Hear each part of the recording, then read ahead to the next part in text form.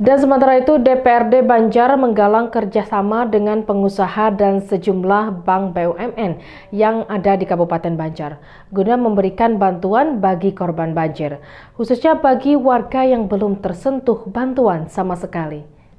Bencana banjir yang makin meluas di Kabupaten Banjar mengundang keprihatinan dari berbagai pihak, tak terkecuali dari wakil rakyat yang duduk di DPRD Banjar dengan turut menggalang sumbangan untuk meringankan beban warga yang mengalami kesulitan dalam beraktivitas karena musibah banjir.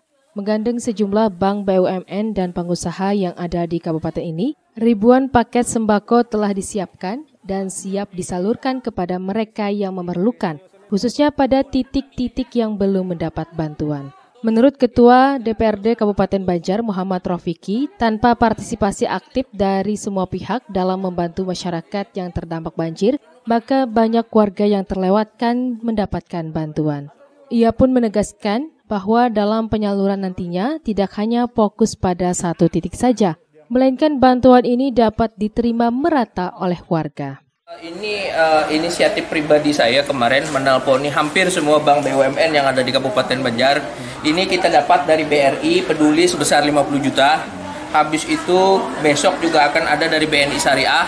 Ini ada 300 paket dari PT Sarabakawa yang punya Hotel Amaris. Nah, ini nanti akan kita salurkan ke daerah-daerah yang belum tersentuh oleh bantuan sama sekali seperti tadi kita baru menyalurkan di daerah Murung, hmm. uh, ada 11 RT di sana yang terendam, belum ada bantuan yang masuk sama sekali. Kita fokus jangan sampai bantuan ini uh, hanya ada di satu titik. Satu rumah kami usahakan satu, karena kalau setiap satu kepala keluarga ada ada satu rumah yang isinya tiga kepala keluarga. Ya, kalau seperti itu nanti kasihan yang lain gak kebagian. Jun ke lokasi. Lewat RT. Oh, lewat RT. RT koordinir. Ya, supaya tertibnya lewat RT. Siap. Kita tinggal menunggu yang dari BNI Syariah, hmm. dari BPD Martapura, sama dari Bank Mandiri.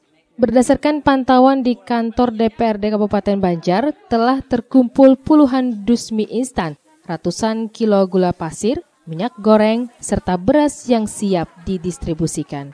Ahmad Ramadhani, Banjar TV.